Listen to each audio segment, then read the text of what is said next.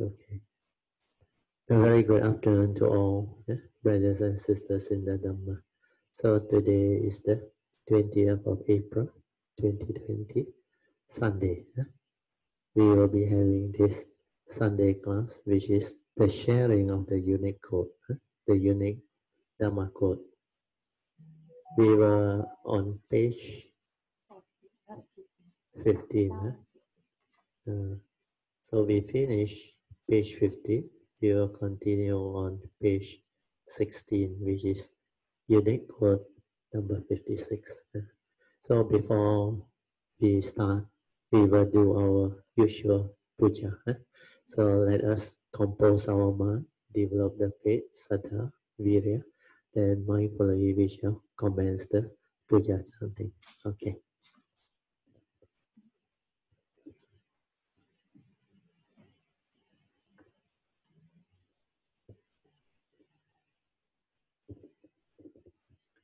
南无本师释迦牟尼佛，南无本师释迦牟尼佛，南无本师释迦牟尼佛，南无观世音菩萨，南无观世音菩萨，南无观世音菩萨，南无阿弥陀佛，南无阿弥陀佛，南无阿弥陀佛，南无弥勒佛，南无弥勒佛，南无弥勒佛。南无普贤菩萨，南无普贤菩萨，南无普贤菩萨，南无地藏王菩萨，南无地藏王菩萨，南无地藏王菩萨，南无佛菩萨，南无佛菩萨，南无佛菩萨。阿拉汉萨玛萨布多巴嘎哇。Buddhang Bhagavantang Abhivademi. Swakato Bhagavata Dhammo Dhammang Namasami. Supatipano Bhagavato Saukasanggo sang hằng nama mi Namo tassa bhagavato arahato sama sambuddhassa. Namo tassa bhagavato arahato sama sambuddhassa. Namo tassa bhagavato arahato sama sambuddhasa Bedang saranang gacchami Dhammang saranang gacchami Sanghang saranang gacchami Detiampi bedang saranang gacchami Detiampi dhammang saranang gacchami Dutiyampi sanghang saranang gacchami Tatiyampi buddhang saranang gacchami Tatiyampi dhammang saranang gacchami Tatiyampi sanghang saranang gacchami Panati pata veramani sikhapadang samadhiyami Adina dana weramani sikapadang samadhiyami kamesu micacara weramani sikapadang samadhiyami musawada weramani sikapadang samadhiyami suramiraya majapama datana.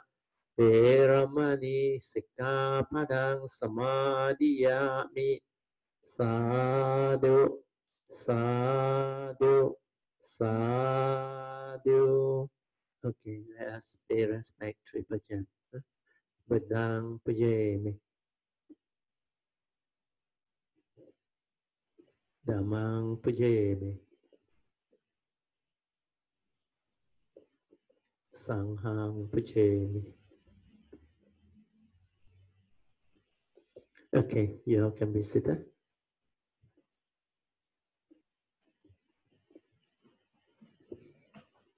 Then we can start our sharing of the unique quote now. Huh? As usual, huh? we like to wish all Kayamitas huh? and your loved one very healthy evening, uh, afternoon actually. then stay safe, huh? Then develop the mind, huh? train it well, develop the cultivation the cultivation is very important.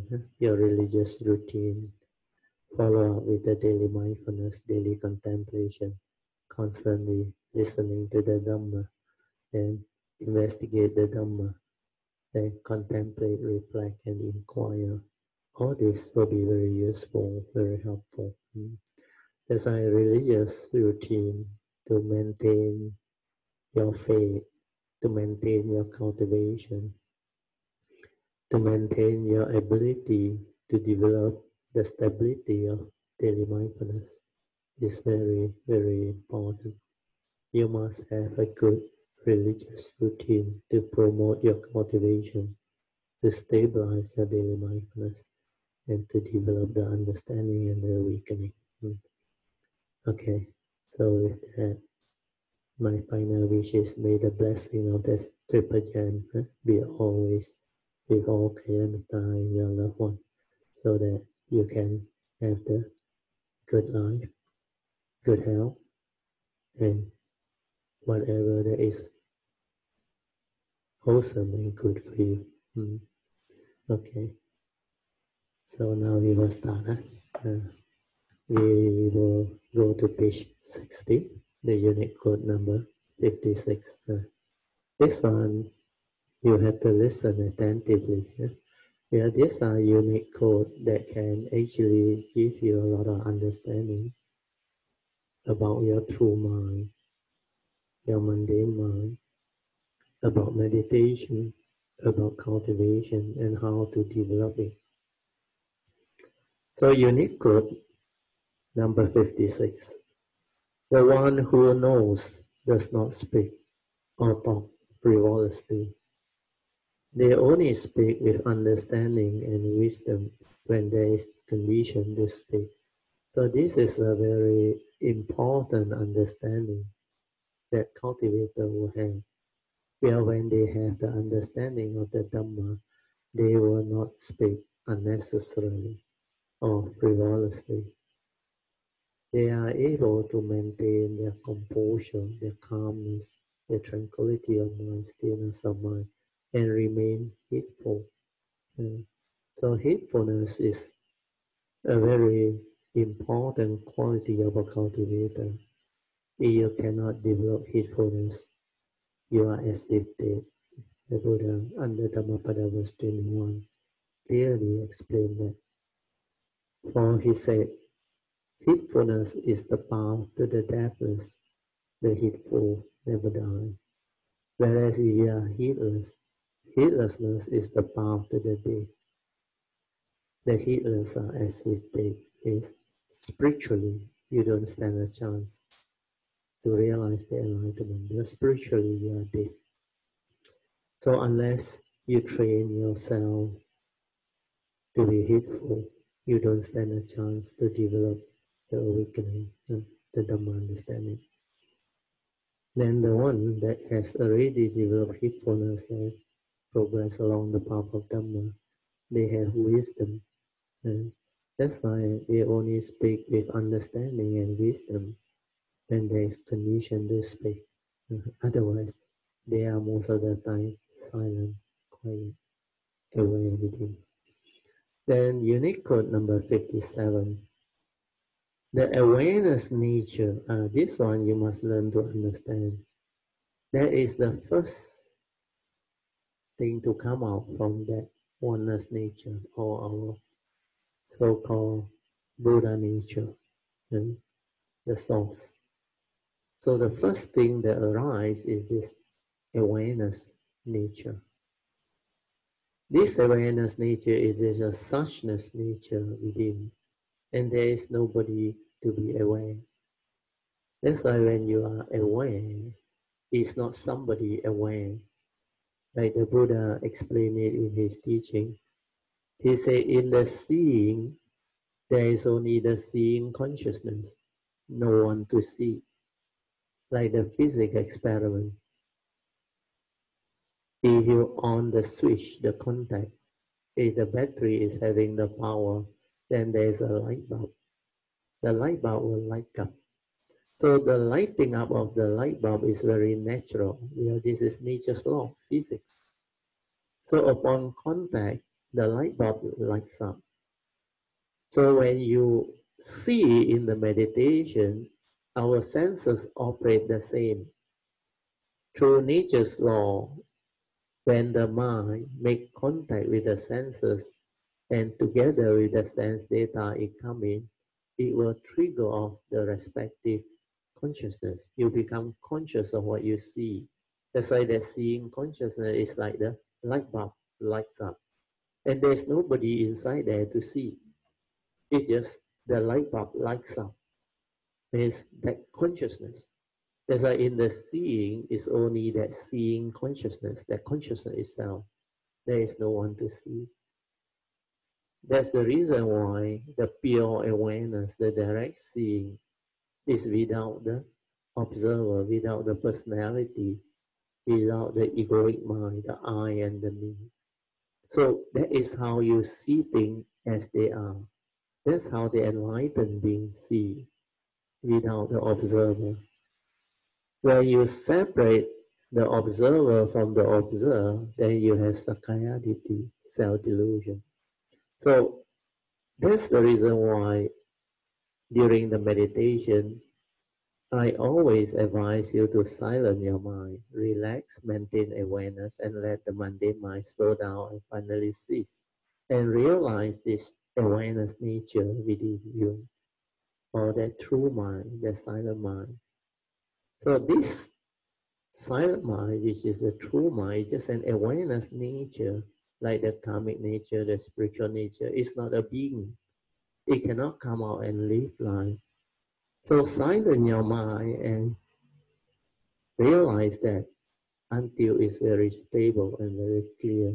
Then through that silent awareness, observation, you will come to know how the mundane mind come about how thoughts and emotions come about, how from the silence all of creation starts through the mundane mind. That's why awareness is before the knowing. Then sati is an awareness before the knowing, before you perceive, before you feel, before you become conscious, before you create any thinking or input the content of consciousness. That one hasn't happened yet. That's why in the seeing, it's only the seeing consciousness, no one to see. But the moment the egoic mind, through your brain, memory, views, opinion, and conditioning, belief system, your habitual tendency, the moment that one is inputted, then the egoic mind arises the content of consciousness when then there is this self-delusion, sakkayaditthi, that believe that you exist separate from what you see. That's why when you associate with that seeing consciousness without wisdom, you become deluded. You say, I see. Sakkayaditthi setting. Yeah. Then you think the observer is different from what you observe then what you observe actually is the content of consciousness. So what is content of consciousness? Content of consciousness together with the consciousness, they are the five aggregate of form and mind, the thought. That's why this thought, which is the pure awareness with the content that has gone in. So this is what the thought is all about. The spacious awareness shrink into that small space. When you input the content, when you perceive, you zoom it down to that small space. That's the reason why Krishnamurti said thought is limited. in the sense that it has shrunk and become so limited. Mm. Then thought is always of the past. It can never be the now.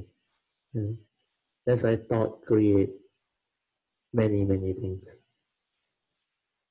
The phenomenal world of consciousness, they are created by thought. All of your feeling, emotion, content of consciousness, your views, your opinion, your mental intention, and everything that your mind can do, even your cunningness, deceitfulness, your planning, mm, your whatever scheming, all these are part of sankhara, content of consciousness. So meditation is to see all this clearly, understand all this clearly through what? Through the silent mind, the meditative mind, or the awareness nature. That's the reason why under quote 57, I explain it very clearly.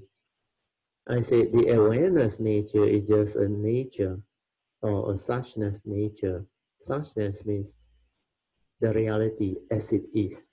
Uh, means the reality of the moment uh, through suchness within. And there is nobody to be aware.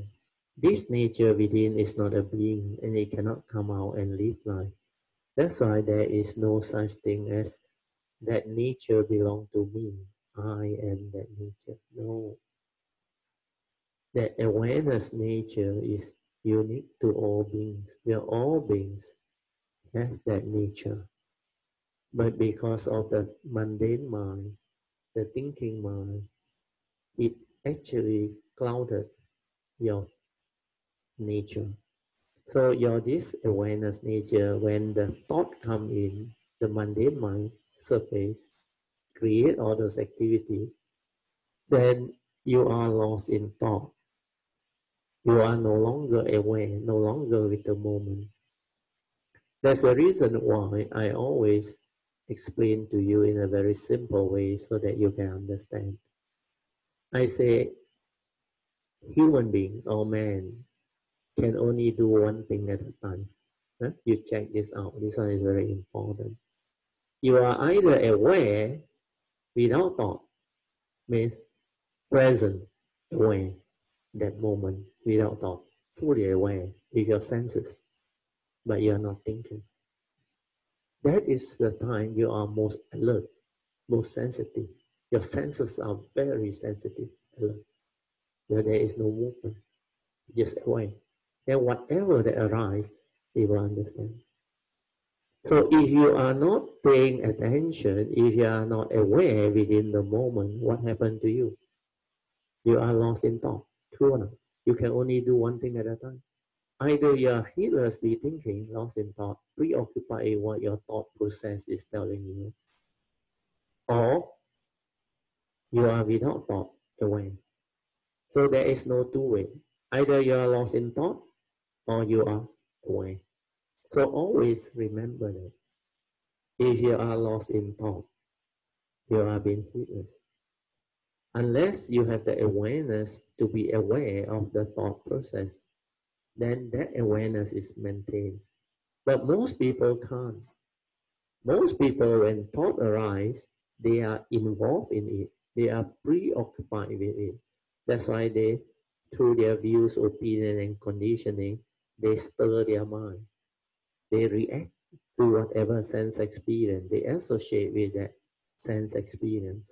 Maybe seeing, hearing, smell, taste, tactile, or thinking or thought process.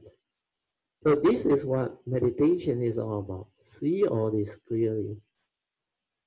When the mundane mind move or arise from that pure nature or your awareness nature, that is the creation part. That is what the thinking mind is all about. That is what the mundane mind is all about. That is what thought is all about. So when that arises, it will condition you into thinking, proliferation. Thought proliferation is the result of thinking and heedlessness.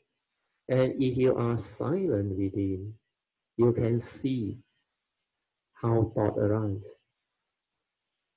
Why J. Krishnamurti said thought is response to memory.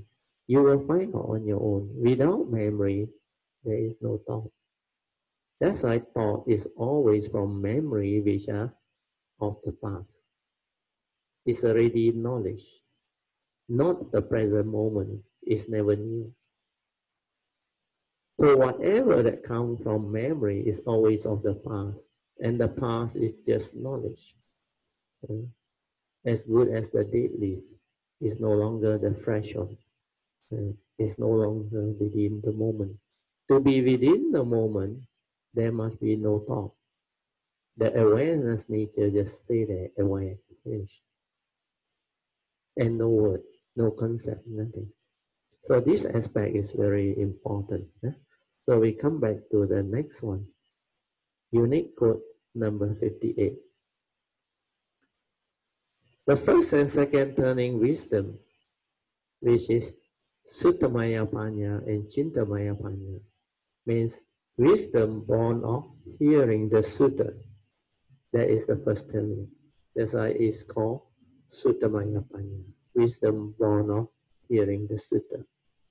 Then when you reflect and contemplate and inquire into the sutta that is being proclaimed by the Buddha, it will give rise to more stable understanding, which the Buddha called Chintamaya Panya, means wisdom born of constant reflection, contemplation, and inquiry into the truth, the Dhamma, the essential Dhamma that the Buddha has spoken or proclaimed. So these first two turning wisdom, the Buddha called it Yoniso Manasikara, means the initial wisdom born of constantly listening to the Dhamma and constant contemplative reflection of the Dhamma can prompt you to have the requisite wisdom at the moment of sense experience so that you can act wisely and appropriately thus preventing your mind from stirring and reacting via self-delusion. This is a very important unique quote for you to understand.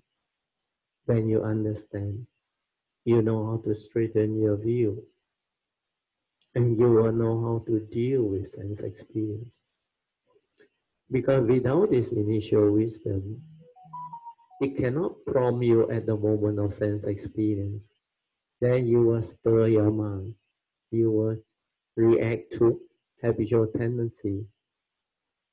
You will act according to memory, your views, your opinion, and your conditioning, which will include your belief system, your phobia, your scars of memory, your insecurity, and whatever that you accumulate and hold on within your memory. Your memory is actually the accumulation of experiences, good and bad. And one other thing human being accumulate, mainly psychological fear, psychological memory. And this attachment is craving. It is the source of suffering. That's why under the second noble truth, the cause of arising of suffering is always craving. And craving, there are three types we have gone through. Sensual craving, which is kama tanha. Then bhava tanha, means the craving for existence to become something. Then vibhava tanha is the craving for non-existence, not to become that thing. So these three types of craving are very strong. And craving come from self-delusion. When you believe you exist, the form and mind, the personality, the human being, then this one will create the egoic mind to make you believe that it is real, it exists. So this one can own things, can have things, can possess things. That's how selfishness come to be. That's how craving comes to be, desire possessiveness, emotional negativity. If we cannot get it what it wants, it becomes unhappy. That's how the duality of light and dislike, pleasant and unpleasant, come to be. Then also because of that, you think you exist. There is fear when you have doubt, when you don't have confidence, uh, when things don't go your way, and you project your thought. It leads to fear, worry, anxiety, sorrow, and lamentation. This is how suffering comes to be. So all this, you can see them in the meditation. When you silence your mind, when you develop the pure awareness, the stability of that silent mind, the awareness nature. Where this one will see how all the thought arises. How before the wisdom is there, before the yoniso manasikara, wise attention is there, you straightway stir your mind, react to sense experience, and arises the like and dislike, pleasant and unpleasant sense experience. They are from your habitual tendency, born of heedless thinking, due to your lack of the five spiritual faculty that condition the mental hindrance. And this one can be understood and can be seen clearly. Then when you see them, you start to straighten your view.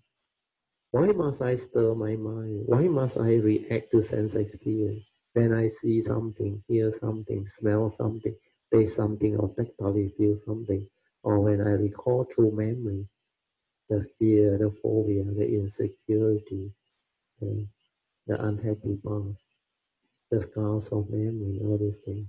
How come it can make me afflicted, miserable, sad, unhappy, or trigger the fear, worry, anxiety?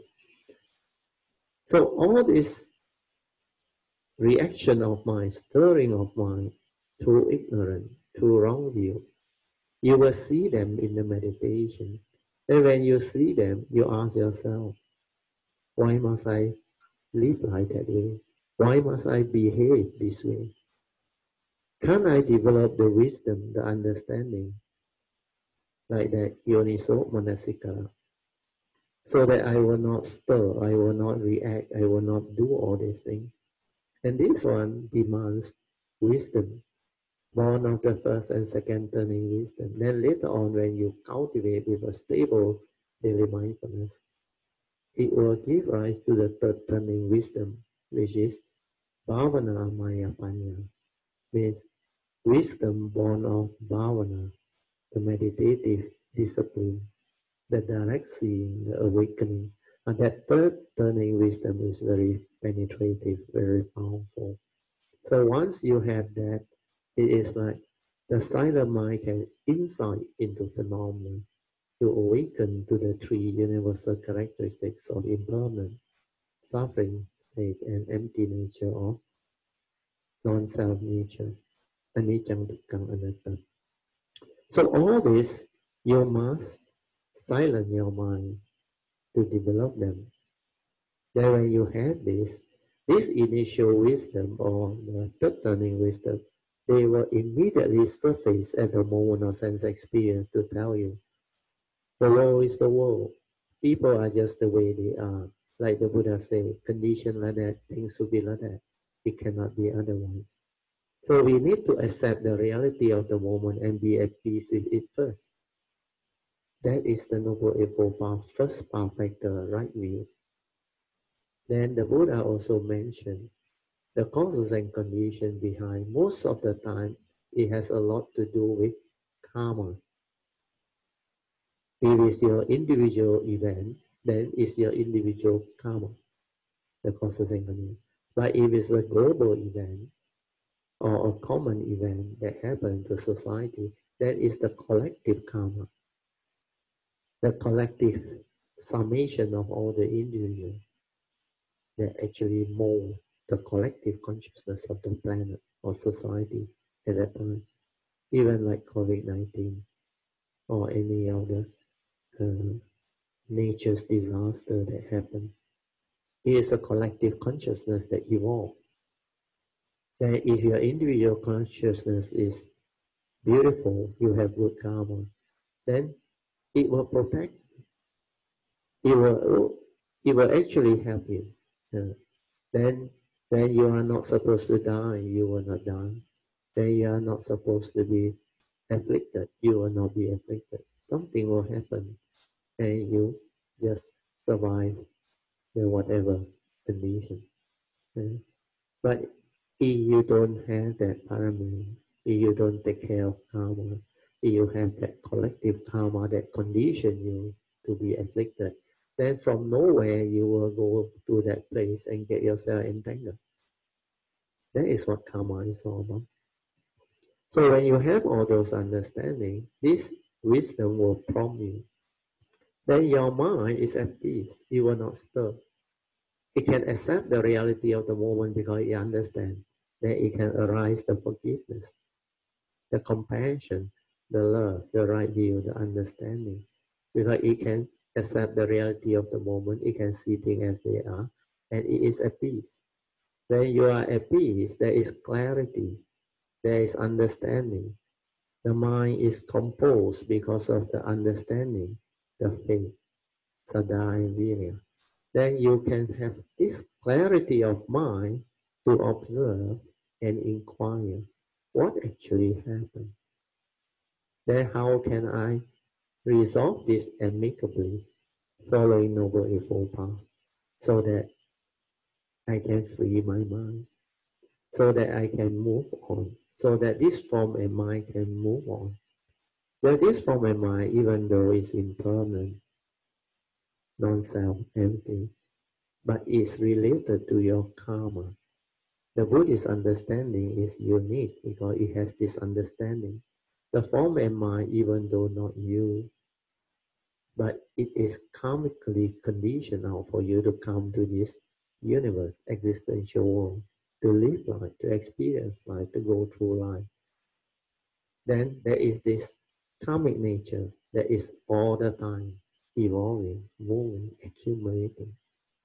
And this is the one that each and every individual, the Buddha explained under the fifth daily contemplation. We are all born our karma, heir to our karma, conditioned and supported by our karma. And we are what we are because of karma.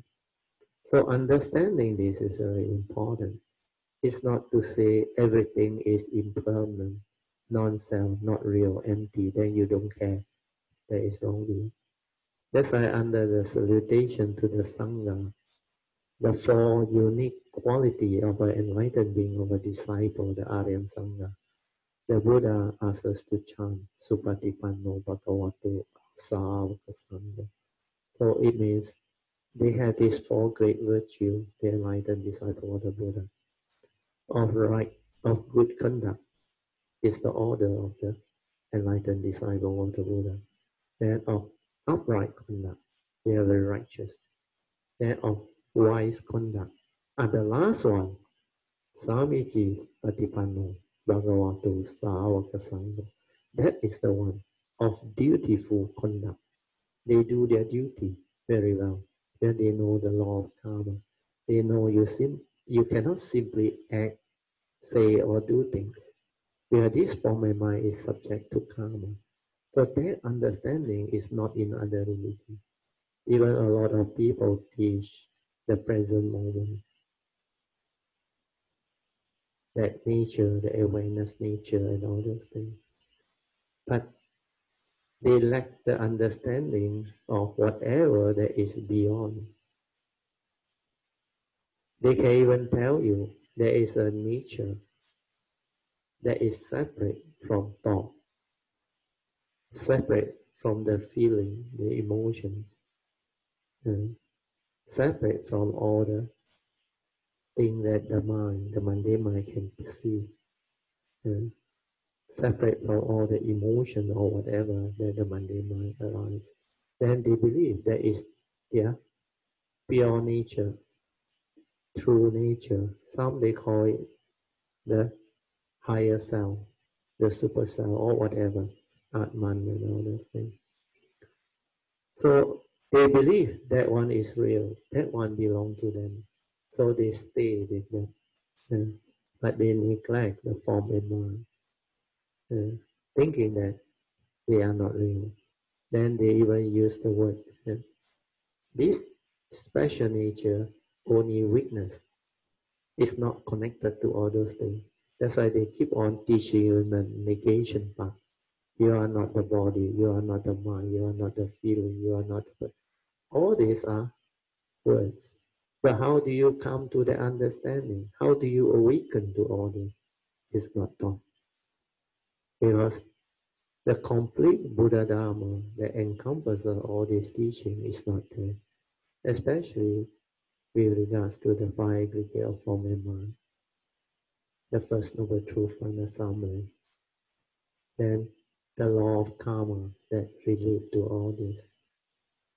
So there are many, many more. Then how you function as a human being, how your mind function, following the nature's law of Paticca Without understanding Paticca the law of dependent origination, condition arising cause of the norm, you cannot see the impermanent, the unreality and you cannot see the empty nature, non-self nature.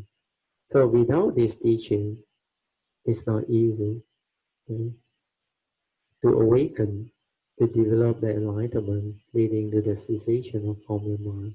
It's not easy. Okay. People can talk about it, but how many people really have the understanding to cultivate it, to develop the awakening?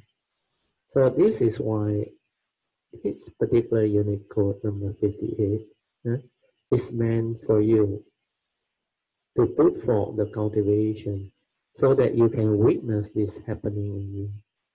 If the initial wisdom, Yoniso Manasikara, cannot come out and prompt you and free your mind, then your cultivation is not in accordance with what the Buddha is teaching. This initial wisdom, which is the step four of Avijja Sutta must be developed first. Otherwise, not easy to formalize the next step, which is the daily mindfulness, sati sampajanya, mindfulness and clear comprehension. Without the initial wisdom, your mind continue to stir, to react to sense experience. Then how can you be at peace? Then how can you have more and more, more more and more moment of silent awareness to develop the daily mindfulness? You can't. That's why space between thought is lacking. Yes, you think a lot. You have a lot of heedless thinking. Your mind is still not at peace. You are constantly creating sankhara activity. The heedless are as if they see all this clearly in the meditation, then you will understand how to overcome all this. Then I will read on verse 58 just now. I go through again. The first and second turning wisdom, yoniso manasikara, born of constant listening to the Dhamma and constant contemplative reflection on the Dhamma can prompt you to have the requisite wisdom at the moment of sense experience. So, so as to act wisely and appropriately, thus preventing your mind from stirring and reacting via self-delusion or habitual tendency. This understanding is very important. If you cannot have this understanding, means you have not done the step four. Your yoniso manasikara has not been developed. That's why you will get stuck there. You cannot progress further. So step four is very important. Developing the initial wisdom. The five daily contemplation is one of the second turning wisdom contemplation. Then the three turnings of the Four Truth, especially the second turning. Constant reflection, contemplation, and inquiry. Then the first turning is constantly listening to the true Dhamma. And that is step two of the Avijja Sutta. Then step three of the Avijja Sutta is when you constantly listen to the true Dhamma, you develop faith, you develop understanding. Then that Saddha. Faith in the Triple Gem is step three. So step three is very important. So step three is here, faith in the triple gem. So step one is having good Dhamma friends, uh, good Kalyamita, which all of us have. Then it will give you the opportunity to listen to the true Dhamma, which I think most Kalyamita also have this. Then your faith in the Buddha Dhamma and the Sangha will be very stable, strengthened until it's unshakable. And then through the first and second turning wisdom, you straighten your view, you develop wise attention or wise consideration at the moment of sense experience. Means your mind is equanimous, does not react, does not stir.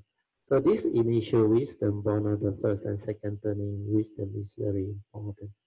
Then only you can have more moment of peace, more moment of tranquility, stillness of mind, the silent mind, more space between thought. Then only sati stabilize to become positive. mind enter sati. Then only your daily mindfulness, sati sampajana. Daily mindfulness with the four type of clear comprehension uh, that step five can come to be. After that, you are destined for enlightenment. Okay, so we have finished unique quote 58. Now we go on to unique quote 59. Whatever that arises within this phenomenal world, there are causes and conditions behind. So when you want things your way, which is against nature's way, you will suffer as per First Noble Truth, okay. the sixth reality. Okay. The Buddhas say, or the seven reality. When you cannot get what you want, you suffer. Okay. Then we move on to the next unit. Code number 60. Always remember this, uh, all knowing, born of your memories, views, opinion, and conditioned thinking or thought are just knowledge. Mainly Dhamma knowledge, they are not wisdom. Where this is based on thought-based meditation, knowledge-based. Because you act from memory. You commit a lot of things to memory. And memory is not wisdom. The memory is all the past recorded. The memory is accumulation of your experiences, which is of the past, although they can be good and bad. And most of them are knowledge. Whereas wisdom is an understanding, it's an awakening. It's not from the thought, it's from the silent mind. The mind is attentively listening, contemplating, reflecting with creativity within. So wisdom is completely separate from knowledge. Knowledge is rigid. Knowledge cannot give rise to wisdom. Whereas wisdom is non-rigid, applicable in the here and the now, under whatever circumstances, whatever condition. At any one time, when we meet some event or situation or people. The conditions are all different. At that time, at that moment, the person also have his own character, personality, behavior. Then the circumstances, the condition, the civilization, the evolution. So many things can actually influence the event. So without the wisdom or the complete understanding of the nature's law, especially the law of karma and the law of mind and all those things, and the law of truth, which is karma niyama, chitta niyama, and dhamma niyama. You cannot cope with life. You cannot deal with life. That's why wisdom accord and flow with condition. Whatever the condition, you have the wisdom, you will know how to deal with it. It is not rigid. It's not something that you can commit to memory and apply. No, you can't. You can't. If you do that, it becomes rigid. Where every moment every instant. Condition flow. All things are in a state of flux, arising and passing away, arising and ceasing. Without that understanding, that wisdom, you cannot cope. That's why at the moment of sense experience, many things can arise. Conditions are all different. Then how are you going to act? You have to act with understanding. Understanding is based on wisdom, following Noble Eightfold Path. That's why Noble Eightfold Path, the first path factor is always right view, right understanding. And that demands great wisdom. And the real wisdom is the understanding of the three spiritual laws that the Buddha has taught us, Karma Niyama, Chitta Niyama, and Dhamma Niyama. Hmm. So always remember everything that you come to know, yeah? Born of your memory, views, opinion, and condition, thought, are just knowledge, mainly Dhamma knowledge. They are not wisdom. Then verse 61, yeah? is to teach you how to meditate. To meditate, you must use your true mind, not the mundane mind. But to live life, you must use your mundane mind. Uh, mundane mind is needed for living life. That's why our form and mind, even though impermanent, don't sound empty, but it's a vehicle and tool for you to come. And there is such thing as life. You have to use it to live life. But the user of this form and mind is very important, especially our physical body and our thought process. I call it the vehicle and the tool, where the physical body is like a vehicle, take you around. And the mind, mundane mind, is like a tool that helps you in the application aspect. So if the user of this mundane mind and this vehicle does not have wisdom, then whatever that this form and mind do will be deluded. There will be no right view, right thought, right speech, right action, right livelihood, and the whole Noble effort will collapse. Because Noble Eightfold Path's fundamental principle is right view. Right view leading to right thought. If your view is wrong, you don't have right view, what happens? You will condition the wrong thought. And thought with the mental intention condition your action and speech and livelihood. So when your view is wrong, your thought will be wrong. And when your thought is wrong, your action, speech, and livelihood all will be wrong. Then if you don't have right view, the four right effort cannot be cultivated. Then if you don't have right view, even your sati will be wrong. Miccha sati. And your samadhi will be wrong. Miccha samadhi. Samadhi is not concentration. Please understand that. Samadhi is the collectedness of mind, unwavering mind, born of a free mind. It is not concentration. Then upekkha, and enlightenment factor, is samadhi with wisdom. Yeah? So all these are very important understanding. Okay, then we move on. Unique quote number 62. The timeless Dhamma. Uh, this one is very important. The Buddha called it akaliko. He said our Dhamma is akaliko. Because when you understand the salutation to the Dhamma, then the Buddha actually asks us to chant during our puja. Hmm. Our devotional practices. He said, Swagato Bhagavata Dhammo.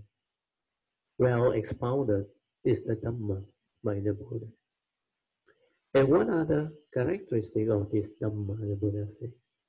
This Dhamma is akaliko. Oh, sorry, sanditiko. Sanditiko means this Dhamma can be realized in the here and now. You don't have to wait till you die. Yes, the enlightenment is possible in the here and the now. That's why it's sanditical. Then this Dhamma is akaliko. This Dhamma is timeless, which is beyond thought, beyond time. Beyond time is beyond psychological time. That's why it's beyond thought. So Sanditiko, Akaliko, that Ehipasiko, this Dhamma is very unique.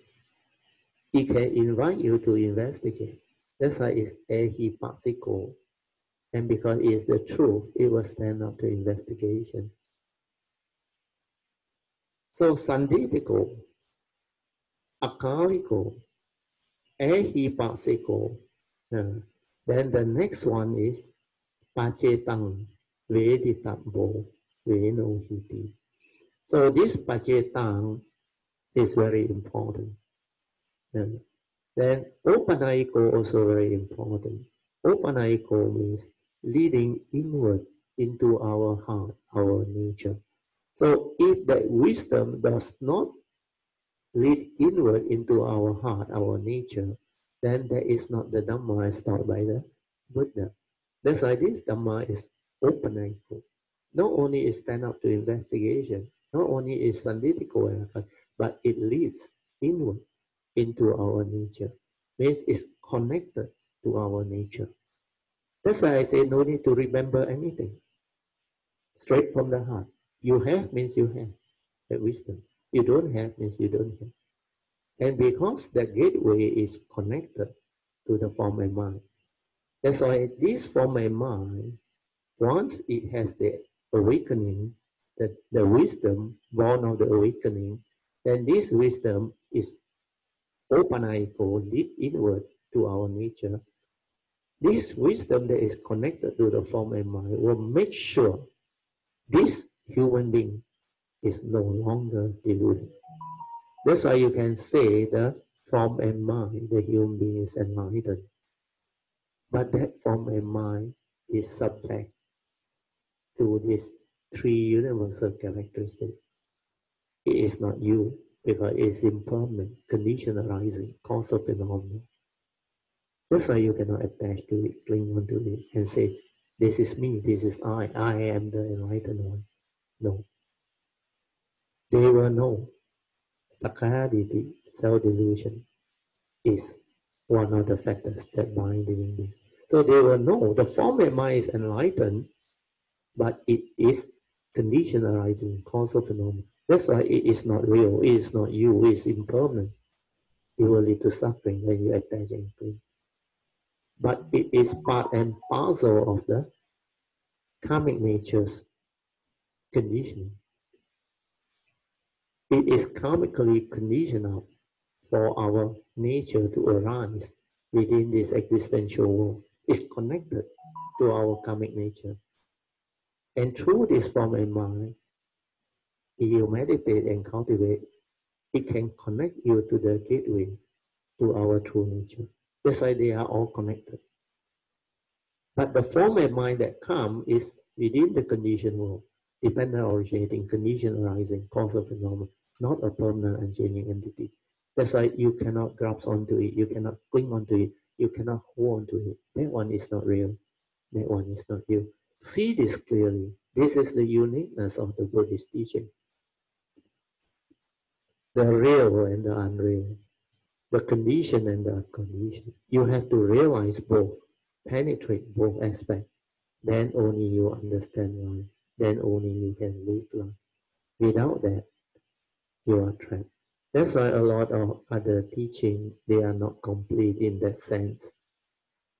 Uh, they can say and describe it in a way like very beautiful, full of Dhamma.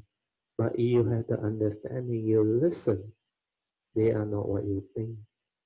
They lack that. They lack clear, complete understanding. They cannot link to you the wisdom part the understanding part. They cannot differentiate between the two, the true mind, the pure nature, and what is enlightenment and all those things, and the form of mind. All this, they are very important, very beautiful. That's why to understand life, you need complete understanding of the condition and the unconditioned. It's not a one-sided duality. You need a totality of understanding. That's why understanding is the whole, complete, not the fragmented time. Okay, I will continue.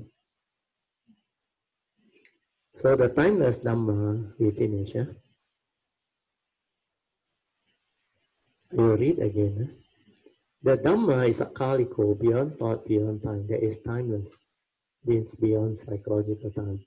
Thus, you cannot use thought to meditate to realize the timeless Dhamma, because thought itself is psychological time. Instead, you need sati to realize the true Dhamma. That's why you cannot use thought that's the reason why thought-based meditation will fail you.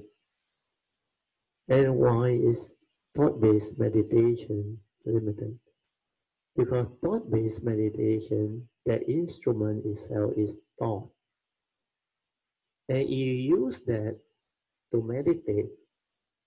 How can you realize the enlightenment which is beyond thought, beyond time? Beyond mind. Ask yourself this question. It's very easy to comprehend. So to realize the enlightenment that is beyond thought, beyond time, which is Akaliko and Upanayiko, you need to link to the silent mind, your true mind, your pure awareness nature. That one, even though it's not a being, cannot come out. But the awareness nature, the ever shining nature, the unborn, because that nature was there primordial in the very initial instant, means from the source, the true nature, the original nature, oneness nature. It was there all the time. Because it was never born. That's why it never grow old or never get sick and never die. That's why it's the unconditioned, the unborn. But that nature cannot live life. It's not a being. It cannot come out. So see that, understand that clearly. Then realize that, that awaken to it until your mundane form and mind cease. And when it cease, the form and mind will go through that transformation, realization of Nibbana. Everything ceases. Then when that nature come out of that cessation, the form and mind, because it's connected to it, he will understand very clearly what that form and mind is, how it started, how it originated, then how the consciousness come to be to the gateway, it come out again. Then how it separate into the three area of consciousness to animate the human being again. Then how the life force come in again. The life force is actually your coming force, the trigger of your heartbeat to pump your heart, that send the blood all around to nourish your organs, to give you the condition to arise. That's why the form might animate into a human being. That is like alive, really, real, exists really. Hmm. Then you give it a name, an entity, a concept, human name, one name, so and so. This is how the Dhamma is to be realized. Without going through the cessation and the arising of the mind again through that cessation, you cannot understand. You cannot understand what Nibbana is. Okay? That's why Nibbana is unconditioned. Everything is even the pure awareness also no more. That so-called beautiful awareness nature that people claim to be the Buddha nature, the true nature, the utmost higher self and all those things. That one also exists. That's the reason why the true understanding is so different. Then what happened to your former mind when that one completely ceased? No heartbeat, nothing, but you are not dead. Hmm. How do you understand that? How do you explain all those things? You can't. And when Nibbana arises, what happens? It's just pure state, pure energy. Hmm. The former mind need to go through all this to develop the understanding. Otherwise, it's not easy. Mm. Okay, we move on. Quote number 63. Heedful living versus heedless living. Now, this one also very useful, very important. Moment to moment life passes by. What are you doing? This is the most important question if you want to understand life. When you understand this, you will understand life. You will penetrate deeply into life. Mm. Most people are too busy thinking, planning, and worrying about life. So much so they totally miss out on life. Check yourself, see whether you are doing this or not. Or in the past you have been doing this before you have the awareness, the mindfulness, the stability of the daily mindfulness.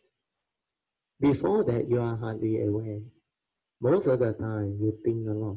You are heedless. That's why most people I use the word are too busy thinking, planning, and worrying about life. So much so they totally miss out on life. They are seldom aware within the moment. That's the reason why the present moment awareness teaching become popular. Uh, they will always tell you huh? present moment awareness, like Eckhart Tolle story. Eh? He taught this, the power of now. Eh? Then a lot of people follow him use the word present. When you are aware within the moment, you are present. Means your awareness is present. Means you are not lost in thought. You are not thinking. Eh? They are seldom aware within the moment to truly live life. Like I explained just now, you are either lost in thought or you are aware. It cannot be anything else. So it's either you are aware within the moment, present, aware with that nature, or it has created thinking, sankhara activity, thought process. Uh, this is heedless living constantly lost in thought, whereas the other one is heedfully. Number 64, uh, explain what heedful living is all about. Unique quote number 64. But with the meditative mind, you are most of the time mindful, aware, and silent within. This is heedful living ever mindful and constantly meditative. So see the difference. When you are heedful, mindful, you are beautiful, you have clarity, you have inner awareness, you are silent, you are peaceful, your mind is tranquil, still, and just aware. So beautiful, no thought. No thought is no fear, no worry, no anxiety, no sorrow, no lamentation, no problem at all. Whereas the other heedless living is full of sankhara activity, mundane thinking, mundane activity with the evil roots, with the mental hindrance. There is so much fear, worry, anxiety within the mental hindrance, your like and dislike your insecurity, your fear, your restlessness of mind, your doubt. Then also your emotion, your mental states, your, whatever mundane mental activity, your views, your opinion, your conditioning, your phobia, your scars of memory, your insecurity. So all these are haunting the living being, causing them so much problem, so much suffering, then they worry so much. They not only worry about their health, their possession, their career, their job, their business, their property, their loved ones. They even worry about their children, their grandchildren, some of them. Uh, then they cannot understand the world. That's why, like COVID 19, there's a lot of fear, a lot of worry, anxiety, panic. But they don't know what is going on. Then the thought project they think is doomsday. Uh, then some trigger of more panic. Uh, they say, according to certain religion, uh, judgment day has come. Um, so a lot of things. Yeah. That's why if you don't have wisdom, understanding, you will be affected, you will be afflicted. So heedful living, when you have gone through the training, the cultivation, especially in a retreat, you see the big difference between heedful living and the heedless living. Heedful living is so beautiful, I explained just now, whereas heedless living is so full of suffering, misery, negativity of mind state. Yeah. Then we move on to the next unique quote, quote number 65. A very stable daily mindfulness of sati is needed to see the birth and formation of thought. This is an inner awareness. Oh, sorry, there is an inner awareness. When you are completely silent and just aware, you can see the birth and formation of thought. How that thought to respond to memory come out uh, very fast. but because of your mindfulness, your awareness, you can see. Uh, because at the moment of input of content of consciousness, that is where it's very difficult to see. Because the egoic mind already arisen.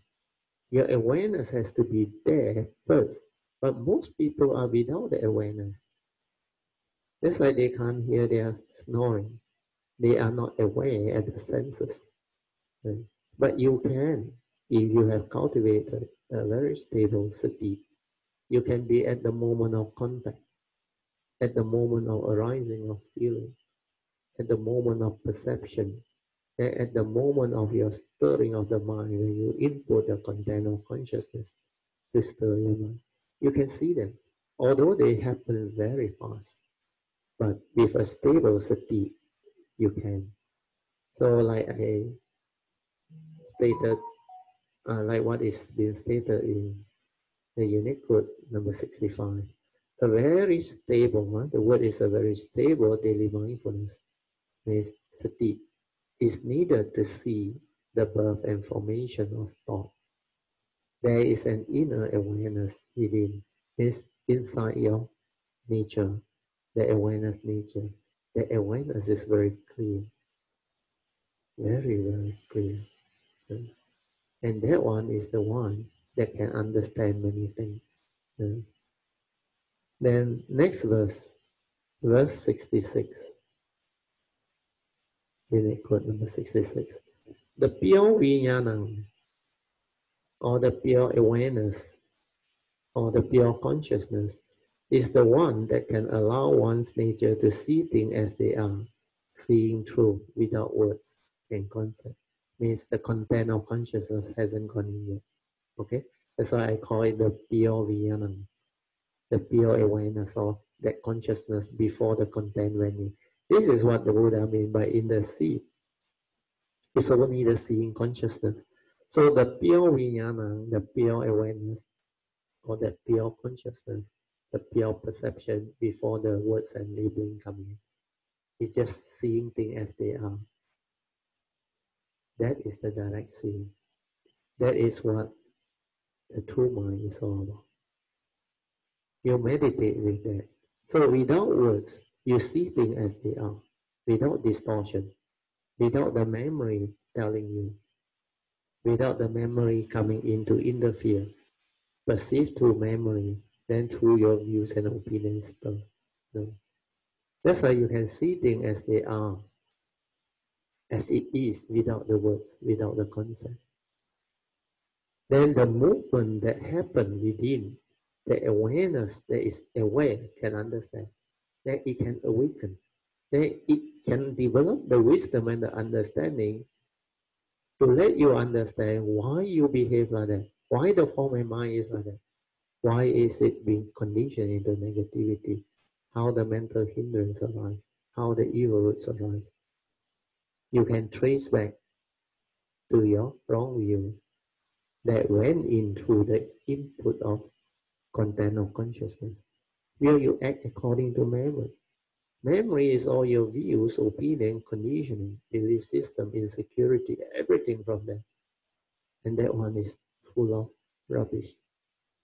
That one is not wisdom. That's why acting according to memory is not acting at all. That is acting from delusion. Before the enlightenment arises, before the wisdom is connected to the formula, it is deluded.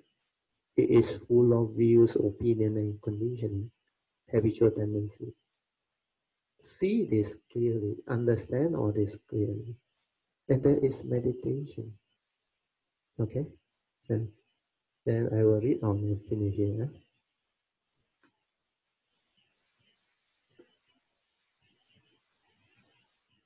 Okay, verse 66, huh? I read one more time.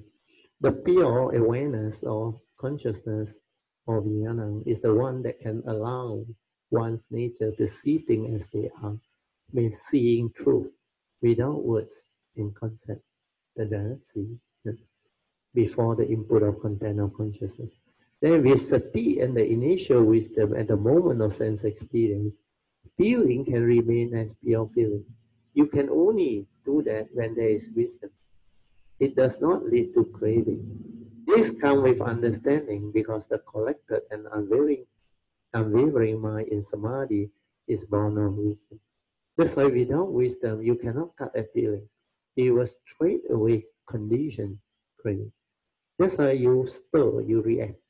Your habitual tendency so fast, like spontaneous pop. You already develop the aversion, the dislike, the fear, the, the insecurity, the unhappy mind. So all this, if you are mindful, aware, you can see them happening. Then you can straighten your view and reverse all this. But most people who use thought, they never see all this because they are hardly aware or mindful. They only through another thought realize that they have become angry. Their mind has stirred. That's why they say, I still have anger.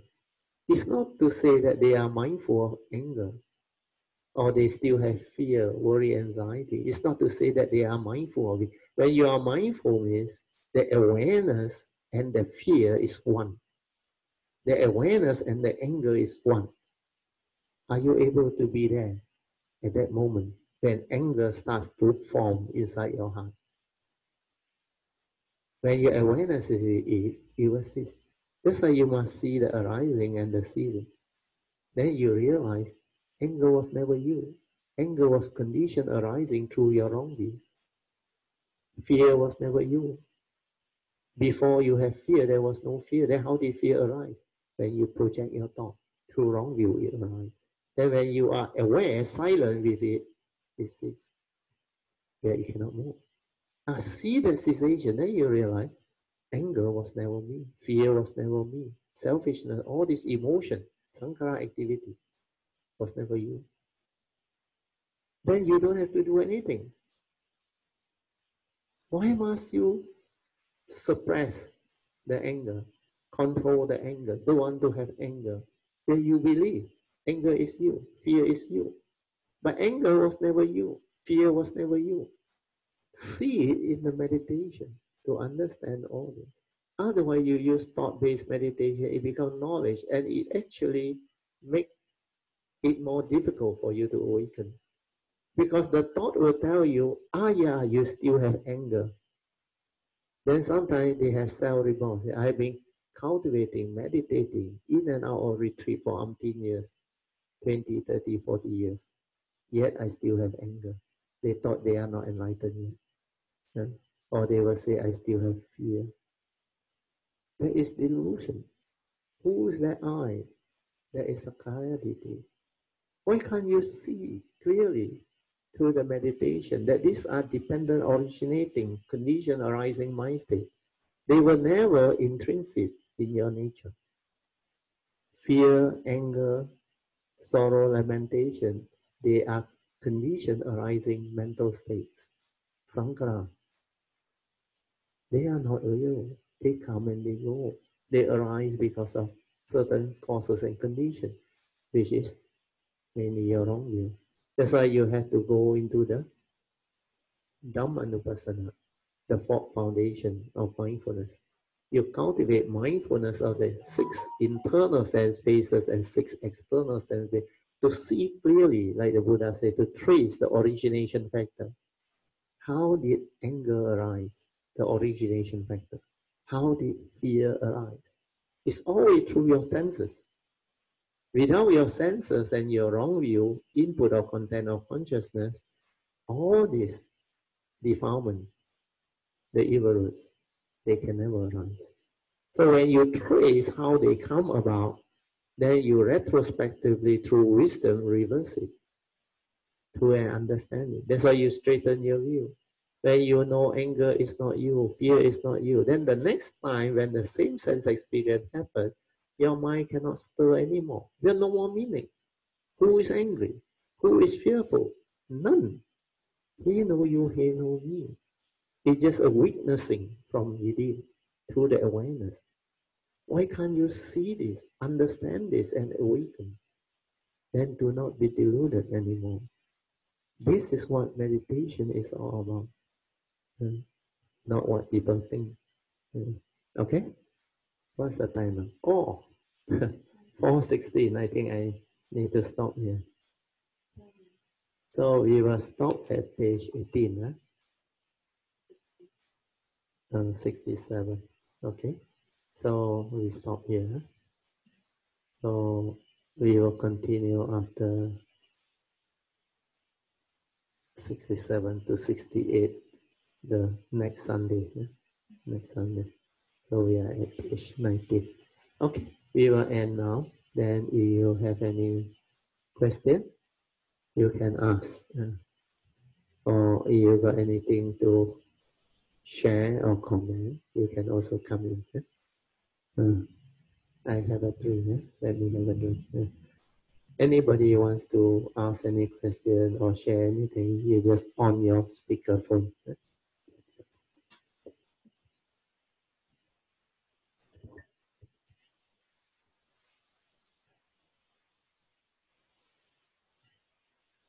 Brother Teoh.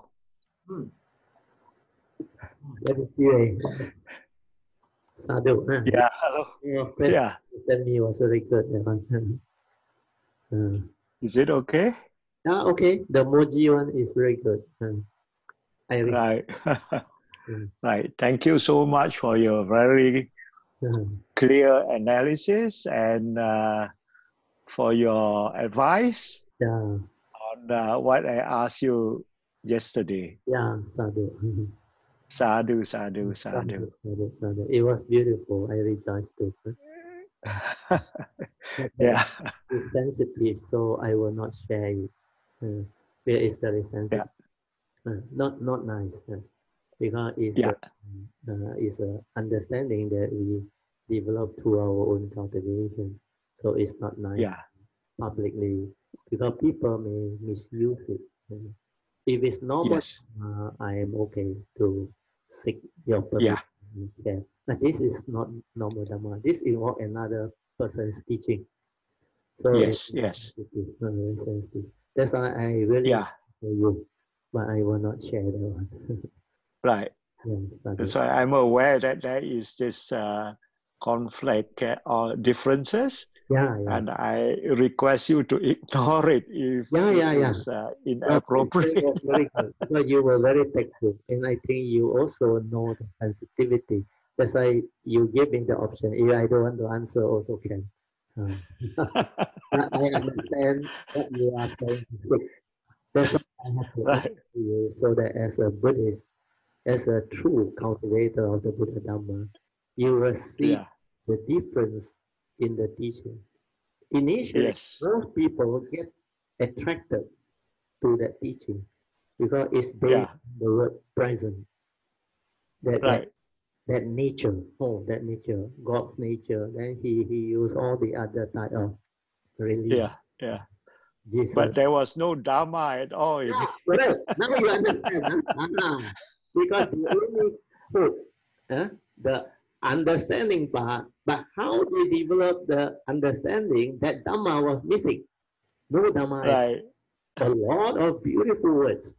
Oh, right, no. yeah, saying what uh, you are not this, you are not that. All the negation. right. But it's still within the mundane, yeah. mundane world and the mundane Ah, they mind. cannot relate. Ah, they cannot relate. But I suppose for those with the right, uh, right karma, good karma, Yeah, it can bring them to the higher realms of Oh, definitely. existence. definitely. Yeah, right. Well, a lot of them will go into the consciousness part.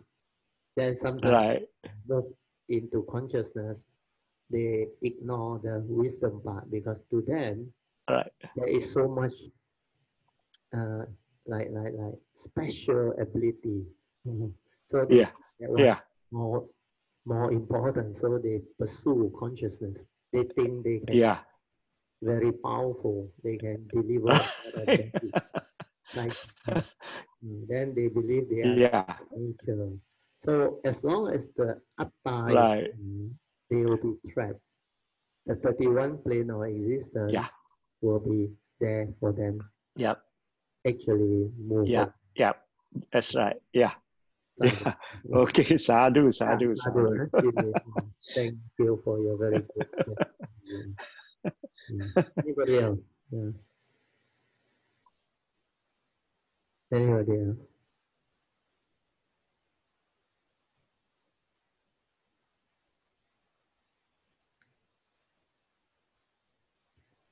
Anybody? We still have eight more minutes. Any question? Any comment or sharing?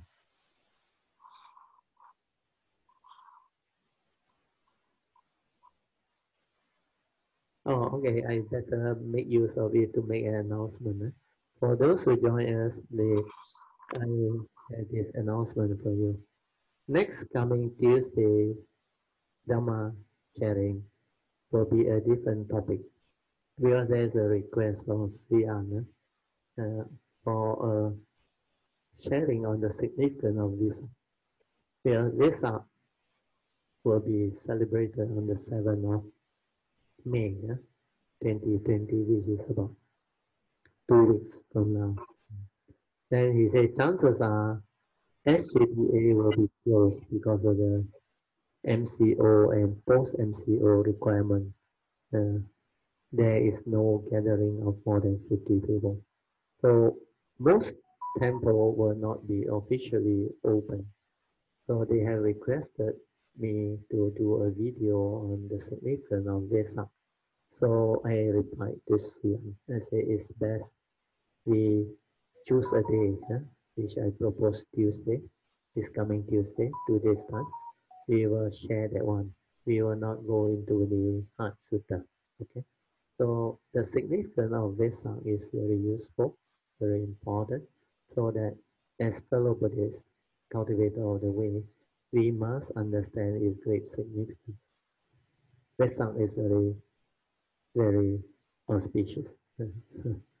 it marks the three auspicious occasions of Sakyamuni Buddha. His birth, his enlightenment, and his parinibbana or passing away. Mm.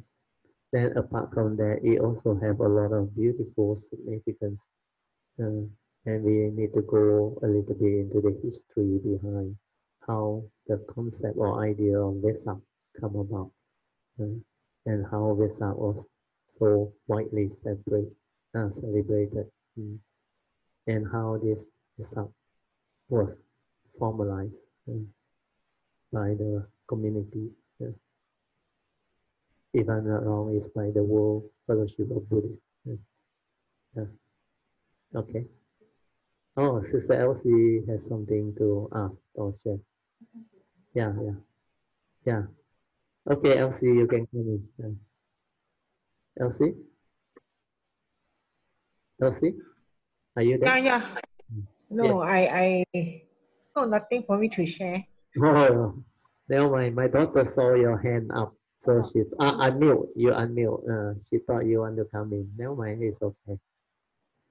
Uh, anybody else? Ah, yeah, Alicia. Uh, yes, Brother Song and Alicia. Okay, we go to Alicia first. Uh, yeah, Alicia. Uh, unmute. Ah, okay. Song Sen Chang Ba. Ah, okay, okay, we go to Song first. Song Sen Chang. How, 那 Song 来。呃 b r a d i o 啊，OK。呃 b r a d i o actually 我想 share 一个 experience，呃就呃，but 呃 maybe 也是要一些你的 advice。啊，可以啊。OK，呃，拜四的时候，呃，我在听这个呃 Dharma Talk，啊，呃，我是在呃 lying down 的呃在 lying down 听嗯，，then halfway 的时候，呃，我我的脚我的脚变成呃很多的那个呃就有开始有 sensation arise，嗯嗯嗯，so 呃 initially 我以为是有蚊子，so 我起来看，诶，不是，so 我 continue to lie down。呀呀，我我我，then 我 realize that 呃这个呃呃那个脚整个 physical 很像没有了那个 physical，、就是很多的那个 sensation 一直在那边这样子一直 arise，一直 arise，呀呀呀，哦，很多的那个 sensation 一直这样子的 Yeah, yeah, arise about five minutes，但是我那个时候我又在听你的呃 Dharma talk，and then 我就是呃 be with it，啊 Yeah,，good, good, very good. 嗯，yes, Uh, then- get it. 啊，then you Yeah. understand. 啊，等我过后，呃，after 那个 talk，呢，我就在 recall，呃，我就想啊、这一个 experience，这个、experience，他要给我一个什么的 Yeah, 啊 for you learn, understanding for you to learn. Yes. 啊嗯，then 呃，but 呃，因为很夜了，我就睡了。然后 the next 对 day 了 Friday，嗯呃，我就在呃在听你的啊，在啊 replay 那个 Dharma talk，呃啊因为对啊 Alicia 有问那个啊啊那个啊 neutral sensations. 然后我也在听。But、uh, at night 的时候，so 啊、uh, Alicia 他就 forward 给我一个那个熟意给他的那个 yeah, yeah, yeah, short note。Yeah, short note, 我一在里面看的时候，yeah, 我竟然看到那个 sentence 说，这个 feeling is formed 啊、uh, to 啊、uh, to initial under 啊、uh, understanding of 这个 three characteristic，就是 to 刚 anicca anatta，我整个人来，因为我就整个人我就 recall 回那个 sensations。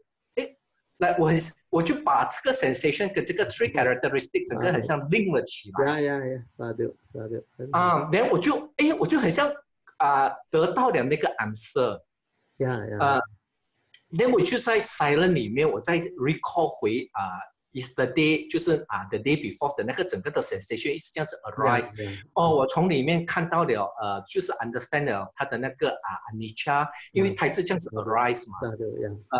然后也看到了是讲如果我去 grasping 的话，它也是变成一个啊 thought. 嗯啊。然后我也看到说它的每个的 arising 就是一个 anatta 来的。呀呀呀。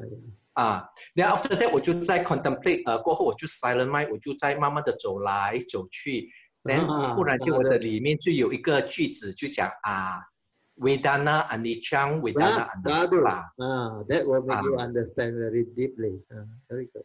Ah. Sadu.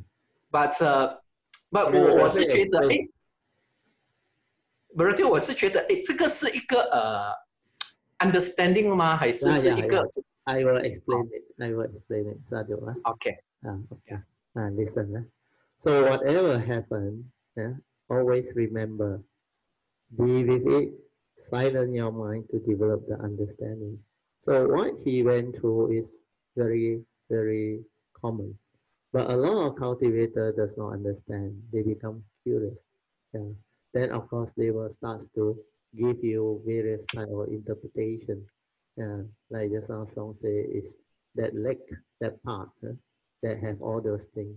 So if you silence your mind, then you will develop the wisdom to understand perception can be false. That's why at first the false perception is Brother Song thought it's mosquito and said, but there was no mosquito. Then after that, he has this another perception that like the leg is no more there. But physically, you know, the leg is there. So that perception of the mundane mind is like that. But when you are truly aware without the words, that's why later on he silent his mind and be with it. That is the time it will give you more wisdom and awakening. This is how the silent mind will understand that these are phenomena without the words, huh? phenomena as it is without the word, that, that thing. Of course, other people will say for pain is like pulling sensation and all that, but this is not pain. This one is that activity, the tactile activity, manifestation for you to learn because he is in the lying portion. The leg is not crossed. So there is no constriction, there is no pain. But there is this type of sensation, the feeling, the moving very fast. Then the mind has never experienced it before. That's why it doesn't know what it is. Then it tries to search through memory. The perception tell him through memory, is it mosquito? Then why like the leg missing?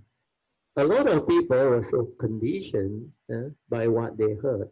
They say, if I can have this experience of not perceiving my physical body, means my mind is in the formless line.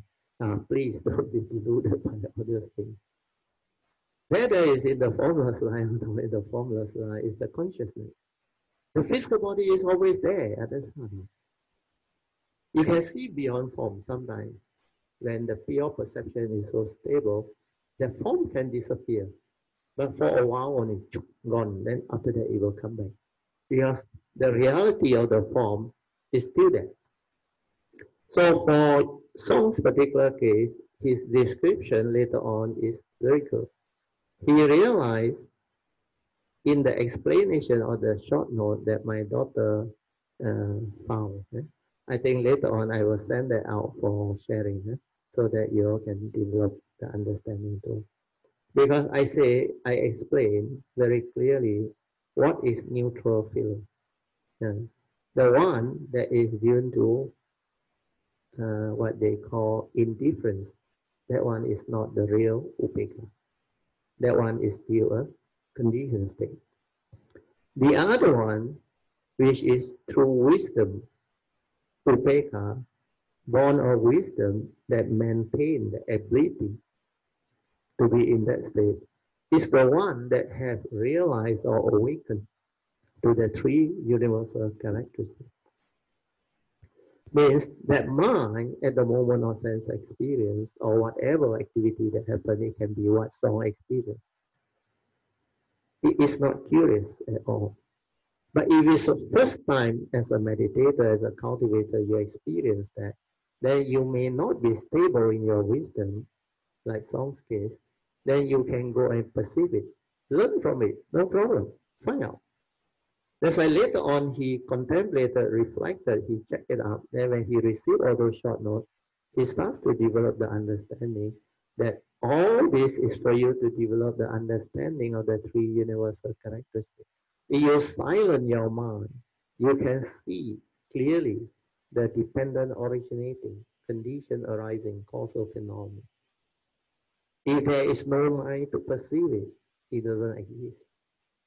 When there is a mind to be aware, then it exists, but no words. But the moment the word come in, perception can deceive you. You can interpret it and all of that. This is how mundane mind creates. This is how the mundane mind, through its views, opinion, and conditioning, manifests. Sometimes in the dream also the subconscious and the unconscious. You will see them arising. Then later on, you will go in until the very fine one, the, the deep level of the unconscious, they will also surface and clear, get rooted out one by one. Uh, but that one is much later. Uh, that one is for cultivator whose mind has collapsed. That all this very fine one inside the memory, it takes a while before it can completely be uh, like completely rooted out.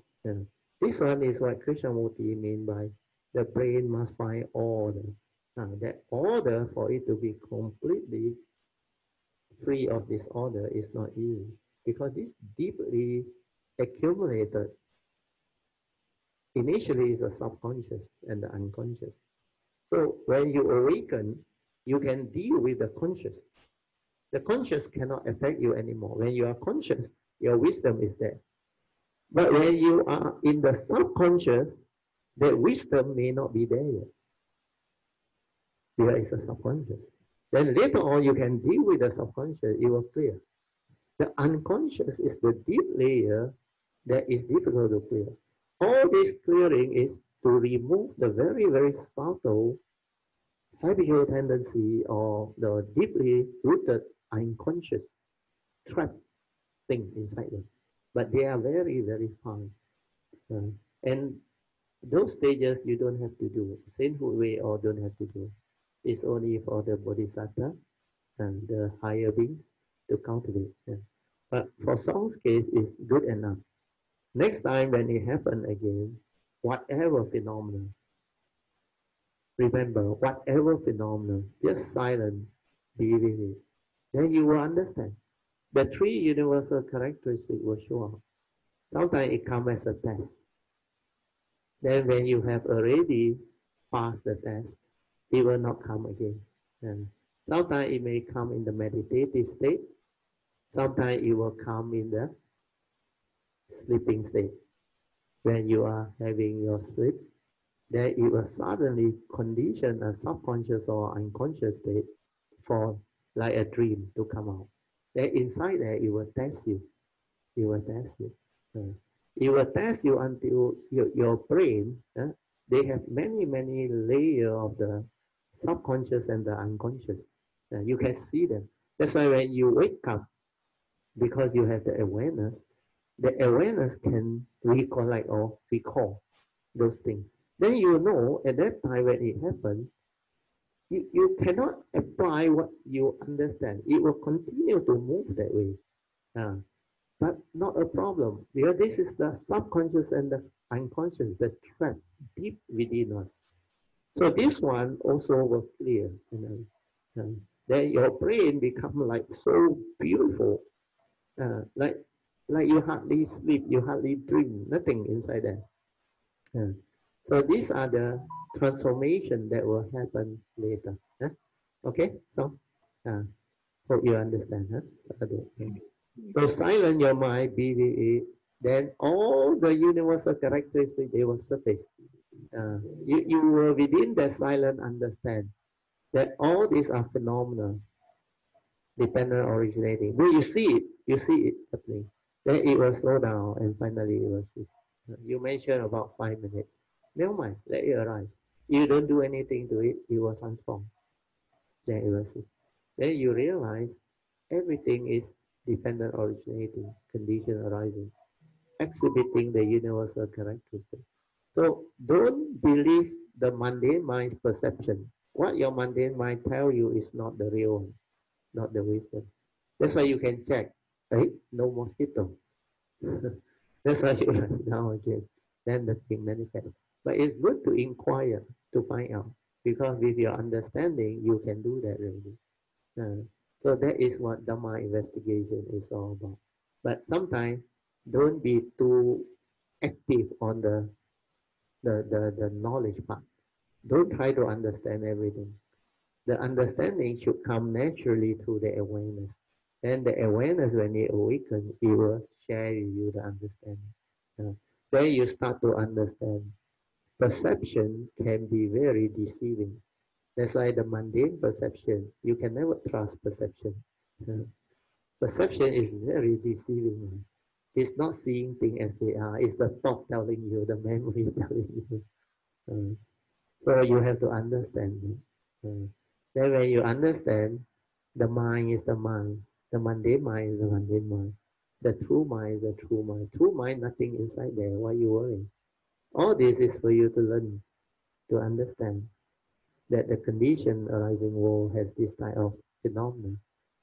And they arise because it is for you to learn. Always remember, life is your greatest teacher. Life itself is where you can develop the understanding. Your life reflect the reality, the truth within the moment. So you need the silent mind, the mundane mind, to be aware that you will understand. It will trigger or insight into. It will develop the wisdom and the understanding. That you will no longer be curious. Uh, you will not try to know. It will just let things be silent. The body is the body, go the way of nature. That it is. Sensation, count, feel it. Silent with it. Then aware. Then understand all this. That's why the four elements may manifest. Uh, then they can have this perception of appearing, disappearing, and all those things. These are all mind state. Uh, no problem. Understanding. That's it. Okay? Uh. Then we go to Alicia. Huh? Uh. Alicia, yeah, your turn. Yeah, Alicia, 嗯，现在是你。不然就我的 sharing 有点长，所以 maybe 我呃先讲一点可以点啊，啊，可以啊，嗯呃呃，自从那个 MCO started 的时候，嗯， 我没有给他多很多的想法，就是当下我们没有也没有上课，所以我只有做我的 duty as a housewife。very good. Right, that duty is like Dhamma. huh? 对，就嗯，try to 做很多东西给他们吃 sadhu. 然后就是关于健康的嘛，哦 Yeah, 也是 part of it. So after that, 呃 b r a d o 一直 mention 呃 blessing in disguise that yeah. mm, because of 这个 MCO，我们 Yeah. 有很多的时间在 cultivate，对，嗯呃，还有就是呃，去 aware 我们的 mind state，还有嗯我们的 interaction with 我们的 family members。 ，yeah，嗯，sadhu， So 呃、from 这几个星期下来，起初我觉得有一点呃一个 suffering at the mind state，you know，right？ yeah, yeah, yeah. 我要知那个苦，我要断那个那个那个那个急，就是 Yeah. you know， Still the thought，嗯，嗯，so 就是嗯。它它 off and on 会现出来的，对，所以所以我你你要就一直去一直 develop the 去 awareness of 啊 it，，对，一直去 contemplate，还有去 understand， Yeah. 就是 trace back 那个 b r a d 讲的那个，嗯 那天 b r a d 有 mention about 那个呃忍辱就是波罗蜜那啊，个，忍辱，然嗯后忍辱，我就去忍辱嗯 contemplate，yes，就是啊忍辱，我们啊要忍，忍辱就是 patience 嘛，so 去 develop 那个 compassion。啊，that 然 one 后 very 这几 important 个礼拜走下来，我觉得我的 mind state 有很大的改变，就是哦，very good，very 呃 good， ，at the sense experience，它就是 like，哦， 就是这样子，然后就是一个 understanding，就是就他就是他妈？你你你都不需要人家讲什么是人家讲，对你不要去 有时候不用 explain，对嗯对对啊就嗯是这样子。然后就是我想讲的是，因为我在 d i o 这里得到正法，嗯，这个是我这一世人得到最珍贵、最珍贵的所以我也，想啊对，我也嗯。想经过这个 sharing，希望大家能够 Yeah 呃 develop the faith，一嗯。起呀加嗯。油，我们要去，因为我们人生难得，我们也也得。到了，佛法也难闻。嗯，如果我们此生不不不在今生度哦，我们不懂要等到几时，所以我就想借着这个机会跟 b r a d o 讲谢谢感恩，嗯还有就是呃佛菩萨的恩，还有众生的恩，对，还有大家大家明，大，所以 对开亚米大的恩，嗯，就是很多很多机会给我去学习。呃，所以这次机会，我也想跟大家，其实是阿松 encourage 我去做呀呀，I sharing think 阿的，松 help a lot 对，所以阿阿松也也教了我很多嗯东西所以所以我觉得我是很 bless 我。我能遇到这么多善知识在我身边，还有很多菩萨在我身边，所以 我我希望经过这一个呃 sharing，大家好好珍惜这个沙山呐、对哦，嗯就就是这样。嗯还有另外就是，就是不是就讲的，呃呃，从阿松的 sharing，我也是有同样的 experience，就是嗯他就是会那个 perception 会 deceive 你吧 Yeah，你从中嗯就是学习。 ，correct，然后过 yeah 了之后，你就再从中这就去再 move on，就是这样 Yeah 子。萨度，感恩大家，阿弥陀感恩佛。阿弥陀佛，萨度，嗯，very good. So how many of you really don't understand Mandarin? Huh? If you don't understand, put up your hand. Anybody don't understand? Nobody. Nobody ah? Wow, very good. No, no need to explain. I saw PG. PG sure don't understand. Huh? PG, where are you, PG? Sorry, PG. Brother Teoh, I also don't understand banana. Oh, who is it? Sue. Oh, Sue. You, you log in ah? Hi. Okay. Hello. Ah, New Zealand, sorry. Yeah, yeah. Wow, New Zealand Sue, ah, the S, the red S, I saw. Huh? The S. Bravo. Hmm. Yeah, I just- your both doesn't understand Mandarin. I explain a little bit. Huh? So for Alicia's case, she wanted to share something that she said may take a while. So she just shared this short aspect of it. Huh?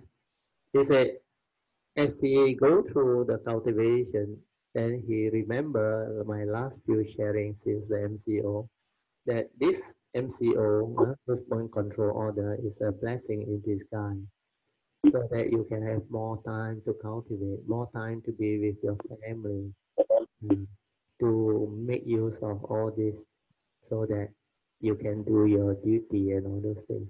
So she remember what I say, right duty is right dhamma. So she very happily cook for the family, do a lot of things for the family. Then like this particular period, for the first time in almost 12 over years, my daughter came back, gave up her job, and happened to be trapped with us in the MCO period. So during this period, she interact a lot with us, and she also do her part, her duty. Uh, one thing very good is she wash all our plates and all those things. that one you may think is small thing, but to do it for your parents, for your family, the merit is fantastic. Because during my younger days, I remember I was one of the nine siblings uh, that helped my father and my mother a lot. Uh, every morning, I will open the shop. I will. Uh, we last time got this type of timber door that slide in on a piece by piece one. So I, I will open them, then one by one stack them on the side. Then at night I will put them back, then lock the door, then sweep the floor, clean the premise and all those things. And sometimes I also fold the blanket or whatever. And I help my mother cutting firewood or that. Then I like to do my household duty and chores.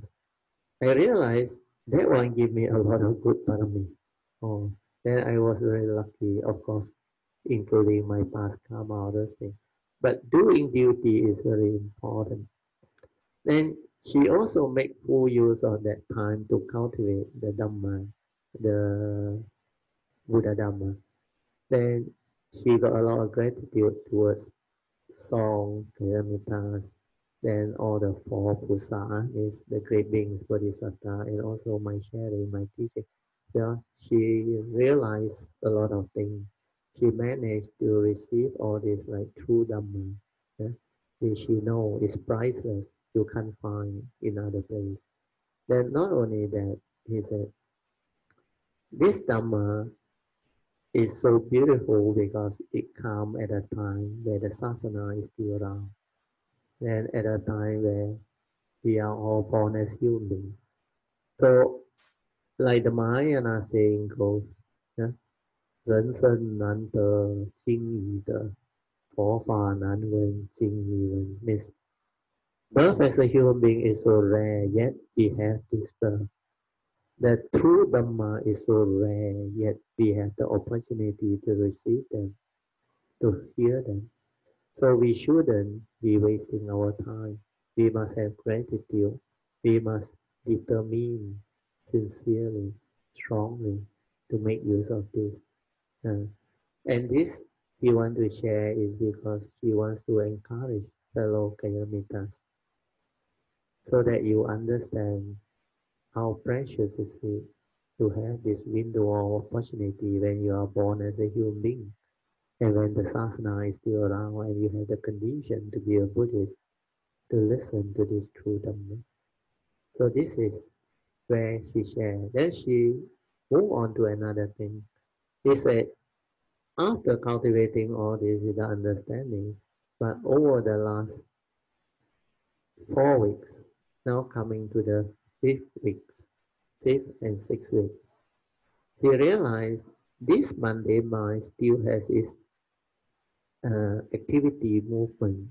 That at times he still feel like the mundane mind can still have this slight complaint or dislike or whatever. She knew these are not the appropriate right thought. But then she need to reflect and understand why it still arises. Then he remember what I share in the sharing. In fact, it's also in the Heart Sutta, but we haven't reached that part yet. Last night, I used to share this part by Guangqin Lao Hesang, the old monk from China. He got a very beautiful sharing, Kai Sulu. He said, in cultivation, we have to remember this. Whatever happened in life, he said, don't go and worry about right and wrong. He said, right and wrong is a conventional truth, not ultimate truth. Then his advice is in Mandarin is 对也接受，不对也接受，无论如何都要忍住。忍住就是 is patient. So in English, the translation is 广钦老和尚 say, whatever you confront in life, don't go and trouble yourself with right or wrong. The right and wrong is relative conventional truth, not ultimate truth. So don't try to be right. Then he said the best way to cultivate wisdom is to develop patience. Patience through acceptance. No matter what happens, right? When people say it's right, you also accept. 对也接受. Or wrong, you also accept. 不对也接受。无论如何。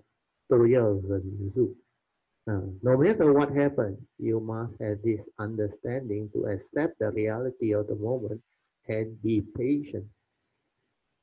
Zanzu, you should follow me. Patience is a perfection, it's a paramita.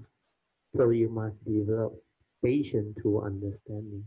Understanding to accept the world as the world. People are just the way they are. That's why you are at peace. So through that, she recollected, she recalled, and she became at peace again. That's why cultivation, you have to continuously develop the understanding, stabilize the understanding. Otherwise, this habitual tendency, they will come back, off and on come back. But when they surface, you are aware, you have the understanding.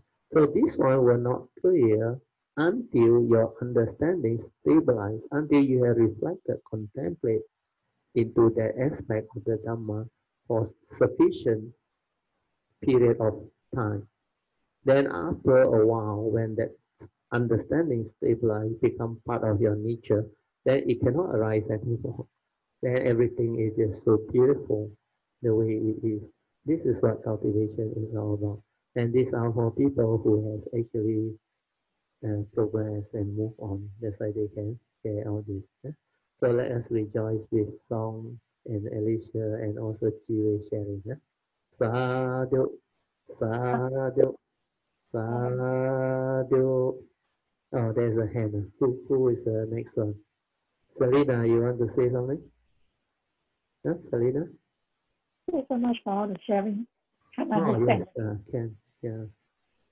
And in fact, uh, during this MCO, um, actually, um, initially my you get confused and it means there's a restriction and feelings and all that. But later you find that I don't really feel fear or whatever it is. Just Mm. accept what it is. Just instructions and and so beautiful to able to listen to all your um, sharing. So you realize, uh, Sadhu, you realize you have changed, huh? Like Al- Alicia also realized she has changed over the years after the understanding. She is now more patient, more understanding. Interact with the environment, society, and the people more and more. You- You don't be um, so angry or whatever. I mean, you accept these are people illusion is they speak the truth of love. Even in, in news, when you all don't don't really have to believe them all. correct. Sometimes Correct. When you when you Yeah. accept them for what they are, it doesn't mean you have to believe them or agree with what they say. No, they are just the way they are. That's why you will have the understanding. Mm. So you can continue to improve through all this. You realize you have started to change. And your character, your personality has started to shift over for the better. Uh, then you can be more happy, more peaceful. Uh, Sadhu? Selena, thank you. Yeah. Okay, uh, it's getting late now, uh, almost. Wow, coming to five o'clock. So, anybody else? I'm nobody-. Huh? Who is it? Oh, Susan. Ah, yes, come in, yeah, Susan, yes. Is it too late, Brother Teoh? Yeah, ah, good afternoon, yeah. Afternoon. Brother Teoh, I've got a question. Yeah? Yeah, Um, the uh, process of uh, meditation. yeah, Well, this was an experience this morning actually when I uh, yeah, you can share it, yes. Uh, just very briefly, Yeah, um, uh, I noticed that defilements uh, arose. yes, Okay. And um, initially, um, rode along with it, hmm, went in and got affected uh, both physically in the Yeah. body but yeah, and the mind affected. hmm, But then I decided to just uh, watch, just not, uh, you know, uh, just uh, watch it, just to be Oh, You aware. are experiencing the defilement when you are in the daily mindfulness or formal meditation. Oh, okay. Yeah, you should silence your mind and watch it. Yeah. Watch the word. Yeah, the word watch, huh? be careful. Huh? That word watch without the observer. Understand? Huh? Without, uh, without the thought interfering. Uh, means just silent. Don't try to know. Uh, observe. Uh, what I did. But of course, initially tended to follow it, to uh, to go in along with it, you know. Yeah. Initially, it's like that. Yeah. Initially, because you are still not stable in your understanding, so it will actually lead you along. so, like you say, you go along with it. Um, but when you have the understanding, you will remember the first two support: relax, maintain awareness. Don't try to know. And then all this understanding, let it surface through that understanding born of the silent mind. Don't use knowledge, don't use thought.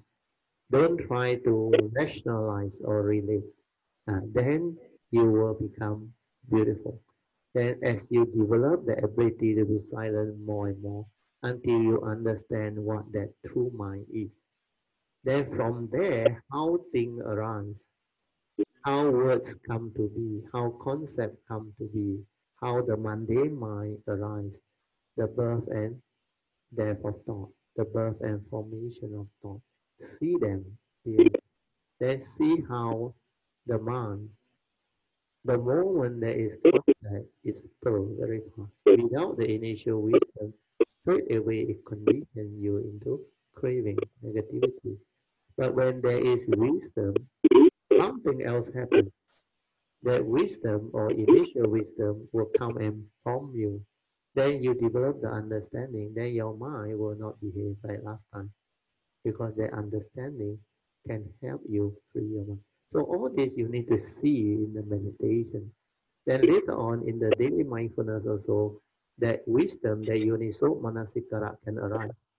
If the initial wisdom, Yoniso Manasikara does not arise, means the cultivation is wrong. You need to use knowledge to overcome it. That is knowledge based, thought based. But when the initial wisdom is there, it straight away will come out and from you, and you will understand. Like just now, Song and Alicia understand. Uh, the feeling, Vedana Anichang, Vedana Anatta. Uh, you will understand because they have contemplated deep enough, long enough.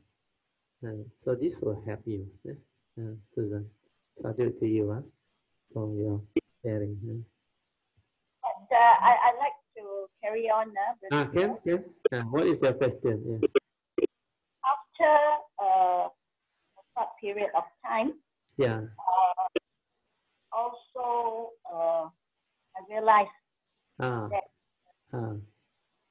uh, the mind shouldn't be following. Yeah. because that is the mundane mind movement. the mundane mind trying to understand, trying to verbalize, trying to uh, do things. uh. So meditation means the mundane mind quiet. uh. Yeah.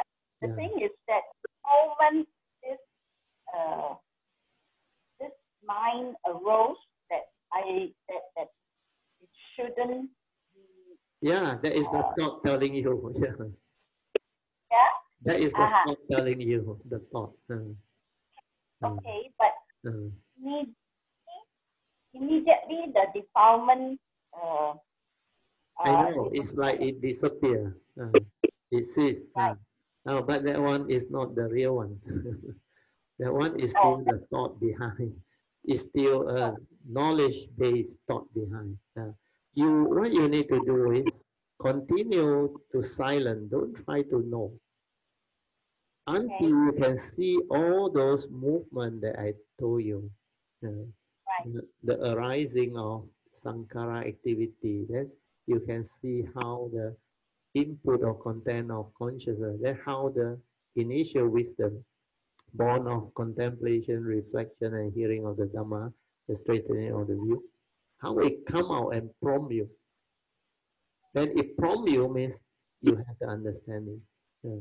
But you to do that, to have that, you must listen constantly to the Dhamma, reflect, contemplate, and develop the clear understanding of the essential Dhamma. Not not true knowledge. The one true knowledge on your conditioning, your your normally accepted Buddhist view and conditioning, that one actually is knowledge.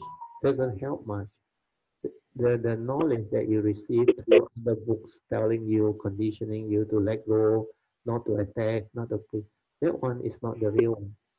The real one is through the silent awareness, the silent mind, it will understand by itself.